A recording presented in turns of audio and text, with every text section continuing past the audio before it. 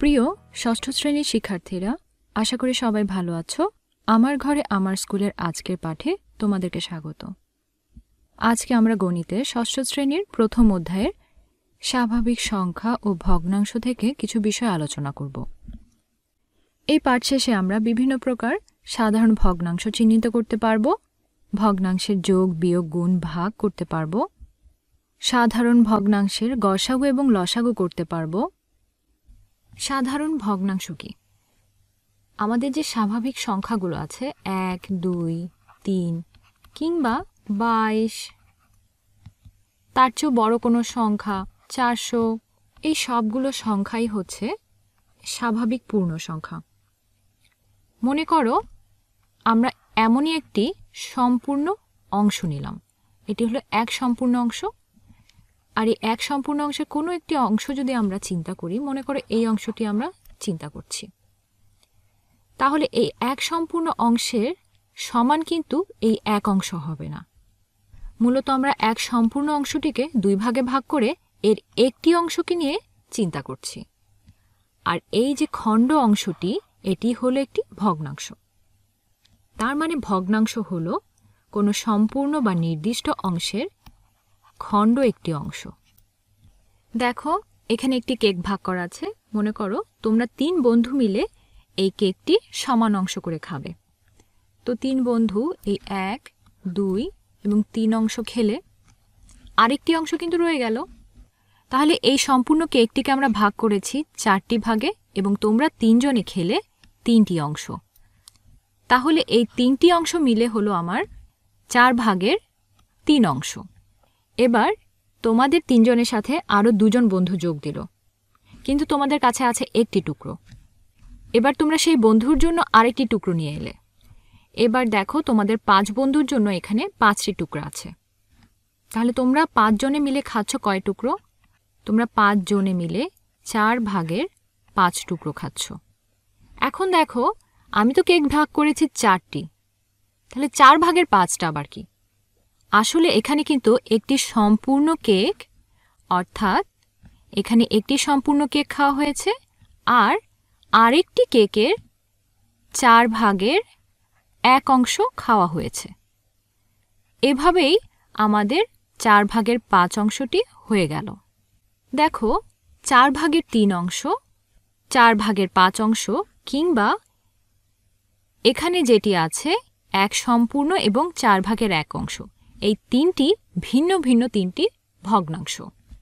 যখন একটি ভগ্নাংশের এই হর থেকে যখন লব ছোট হবে, তখন তাকে বলা হবে প্রকৃত ভগ্নাংশ। আর যখন এই হর থেকে লবটি বড় হবে, তখন একে বলা হবে অপ্রকৃত ভগ্নাংশ। দেখো, এই অপ্রকৃত ভগ্নাংশকে কিন্তু আমরা এর সম্পূর্ণ অংশ এবং ভগ্নাংশ আকারে লিখেছি। তখন একে বলা হবে মিশ্র ভগ্নাংশ। তাহলে আমরা সাধারণ ভগ্নাংশের তিনটি প্রকার পেলাম। একটি হলো প্রকৃত ভগ্নাংশ, দ্বিতীয়টি অপ্রকৃত, এবং তৃতীয়টি মিশ্র ভগ্নাংশ। এখন দেখো, এখানে দুটি ভগ্নাংশ আছে, চার ভাগের তিন এবং চার ভাগের দুই। এই দুটি ভগ্নাংশের মধ্যে কোনটি বড়? দেখো, ভগ্নাংশ দুটি সমহর বিশিষ্ট। তাহলে খুব সহজে আমরা বলতে পারি, যেটি লব বড়, সেটি বড়, সেক্ষেত্রে চার ভাগের তিন, এই ভগ্নাংশটি বড়। এবারে দেখো, সাত ভাগের পাঁচ এবং চার ভাগের তিন, দুটি ভগ্নাংশ আছে। এদের হর কিংবা লব কোনোটি সমান নয়, অর্থাৎ ভিন্ন ভিন্ন হর ও লব বিশিষ্ট দুটি ভগ্নাংশ। এখন এই ভিন্ন হর ও লব বিশিষ্ট ভগ্নাংশ দুটি কীভাবে আমরা তুলনা করব? এর জন্য প্রথমে আমাদেরকে ভগ্নাংশ দুটির হরের লসাগু নির্ণয় করতে হবে। আমাদের ভগ্নাংশ দুটির হর হল সাত এবং চার। এবং আমরা সাত ও চারের লসাগু নির্ণয় করতে গেলে দেখব, আমরা কিছু দিয়েই ভাগ করতে পারছি না, সেক্ষেত্রে সাত এবং চারই গুণ হবে এবং লসাগু হবে আটাশ। এখন দেখো আমাদের প্রথম ভগ্নাংশটি হলো সাত ভাগের পাঁচ। তাহলে এই সাত ভাগের পাঁচের হরকে যদি আমরা আটাশ করতে চাই, তাহলে আমাদেরকে কত দিয়ে গুণ করতে হবে? আমাদেরকে সাতকে চার দিয়ে গুণ করতে হবে। ভগ্নাংশের মান একই রাখার জন্য আমরা উপরেও লবের সাথেও চার দিয়ে গুণ করব। সেক্ষেত্রে আমরা পাব চার পাঁচে বিশ এবং হরে পাব চার সাথে আটাশ। আবার আমাদের অপর ভগ্নাংশটি হল চার ভাগের তিন। এই চারকে যদি আমরা আটাশ করতে চাই, তখন আমাদের গুণ করতে হবে সাত দিয়ে এবং ভগ্নাংশের মান ঠিক রাখার জন্য আমরা উপরেও সাত দিয়ে গুণ করব। এক্ষেত্রে আমরা পাবো তিন সাতে একুশ এবং নিচে, অর্থাৎ হরে, চার সাতে আটাশ। এইবার দেখো, দুটি ভগ্নাংশই আমাদের সমহর বিশিষ্ট হয়ে গেল, অর্থাৎ আটাশ ভাগের বিশ এবং আটাশ ভাগের একুশ। এখন আমরা খুব সহজে বুঝতে পারছি আমাদের এই আটাশ ভাগের একুশ এই ভগ্নাংশটি বড়। তার মানে আমাদের এই চার ভাগের তিন ভগ্নাংশটি বড়। সুতরাং এই দুটি ভগ্নাংশের মধ্যে যদিও এখানে সংখ্যাগুলো বড়, কিন্তু আসলে আমাদের চার ভাগের তিন এই ভগ্নাংশটি বড় বা বৃহত্তর। এবারে আমরা ভগ্নাংশের যোগ বিয়োগ করব। এখন এখানে আমাদের সমহর বিশিষ্ট দুটি ভগ্নাংশ ছিল, সেই দুটি কি ছিল? চার ভাগের তিন এবং চার ভাগের দুই। যখন সমহর বিশিষ্ট দুটি ভগ্নাংশ যোগ করব, সেক্ষেত্রে আমাদের কেবল লব দুটি যোগ করলেই হবে। তাহলে আমাদের ভগ্নাংশের হর হলো চার। আমাদের লব পাবো তখন তিন যোগ দুই সমান পাঁচ, অর্থাৎ চার ভাগের পাঁচ।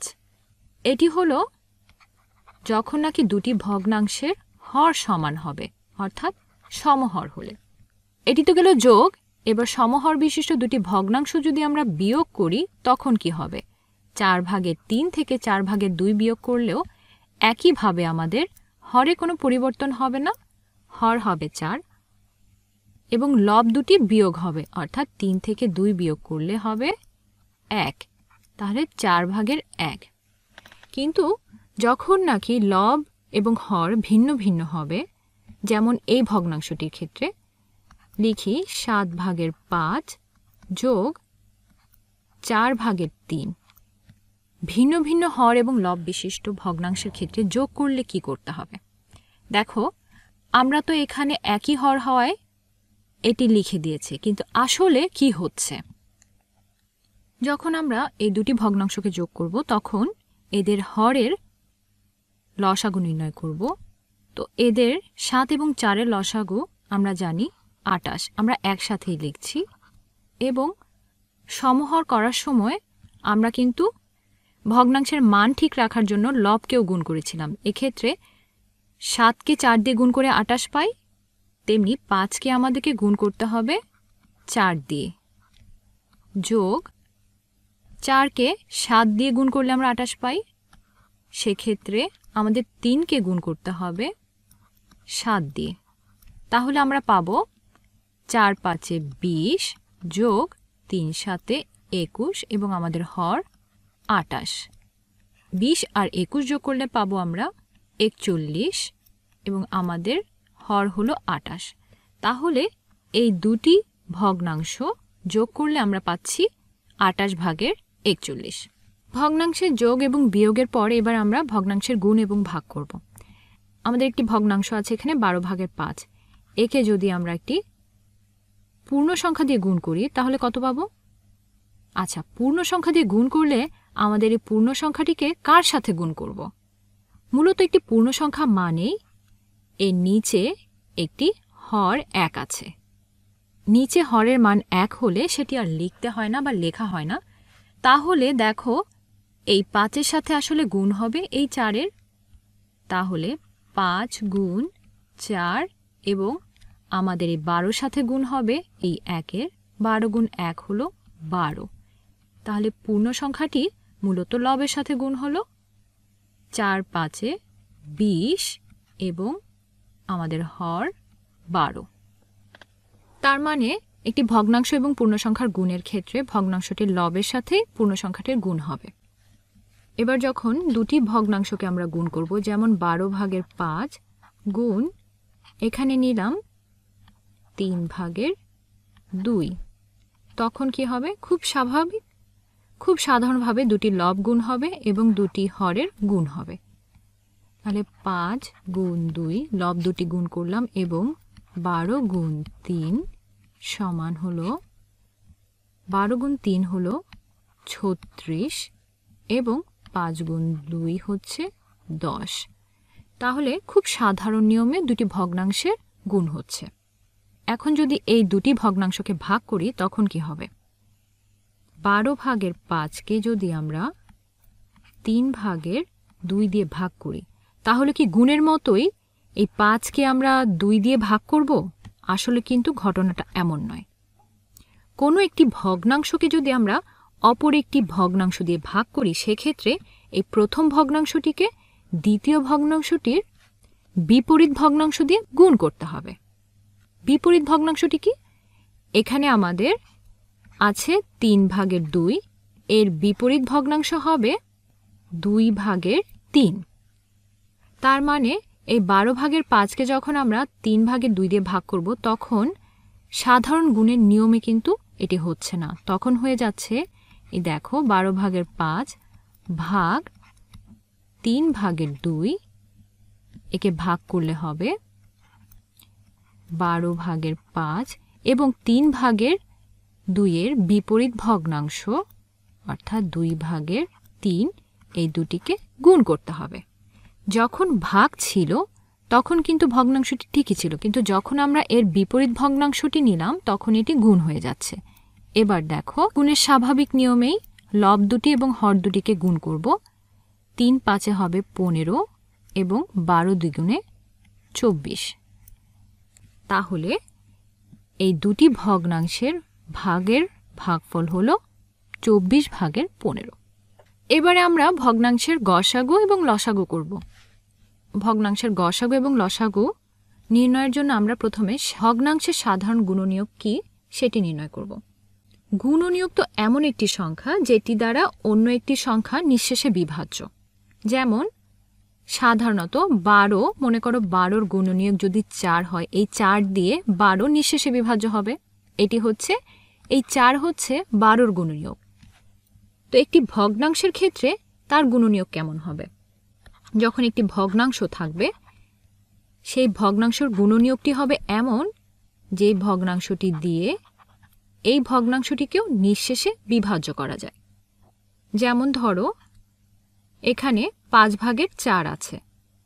এখন এই পাঁচ ভাগের চারের এমন একটি ভগ্নাংশ দরকার, যখন এই ভগ্নাংশটি নিঃশেষে বিভাজ্য হবে। আর যখন এই ভগ্নাংশটি নিঃশেষে বিভাজ্য হবে, তার মানে এই ভগ্নাংশটির কোনো হর থাকবে না কিংবা এই গুণনীয়ক দিয়ে একে ভাগ করলে একটি পূর্ণ সংখ্যা পাওয়া যাবে। তাহলে আমাদের এই ভগ্নাংশটি হলো পাঁচ ভাগের চার। এই ভগ্নাংশটির গুণনীয়ক নির্ণয় করতে হলে, অর্থাৎ আমরা যদি হর পাঁচকে না চাই, সেক্ষেত্রে গুণনীয়কটি এমন হবে যেটি এই হরের গুণিতক। তার মানে হরের গুণিতক হবে পাঁচের গুণিতক আমরা লিখি পনেরো এবং লবের গুণনীয়ক।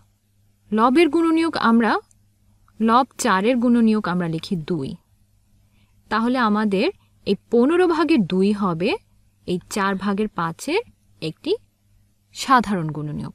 আমরা পাঁচ ভাগের চারকে এই পনেরো ভাগের দুই দিয়ে ভাগ করে দেখি, এটি পাঁচ ভাগের চারের সাধারণ গুণনীয়ক কিনা। ভাগের ক্ষেত্রে পাঁচ ভাগের চার গুণ পনেরো ভাগের দুইয়ের বিপরীত ভগ্নাংশ